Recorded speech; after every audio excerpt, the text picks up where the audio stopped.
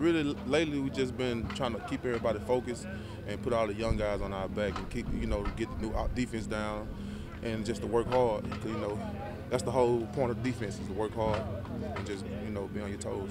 Uh, not exactly, but I, I got a good a good feeling. You know, I I just expect them to do their job. I mean. But I got a good feeling in what they'll do. Yeah. What's it going to be like having a, a Kendrick James for an entire season lining up there with you? Oh, that'll be awesome. That'll be awesome. That's my brother. I mean, he a big part of us. He a big part of our defense. He a great leader. So that's gonna be good for us. Yeah, it's kind of it's kind of similar, but uh, the biggest thing we got is we the seniors up, up front. So I mean, we got that role of being the leaders and all that. But that's the only difference. Other than that, it's kind of similar. We got to build on it. That's that's our whole thing is to build on it and don't look at last year, but just just keep that as our motivation because we did we did make the bowl game, so that's a that's a motivation in the back of our head. Just get off the ball and work hard.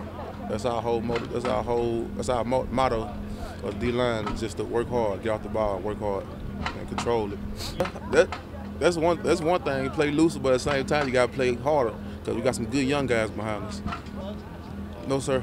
Only thing is, um, we're just trying to now. That's what spring for is to pick them up and get them to learn the learn the uh, the plays and all that stuff. Everybody, everybody liking it. Everybody willing. So yeah, everything is going good. I don't know. I mean, I mean everybody working hard. We just got a lot of athletic. We got a lot of athletic guys. That's that's about it. That's about only thing different. Sir, yeah, it is. It's really, it's very aggressive, and I like it. I like that.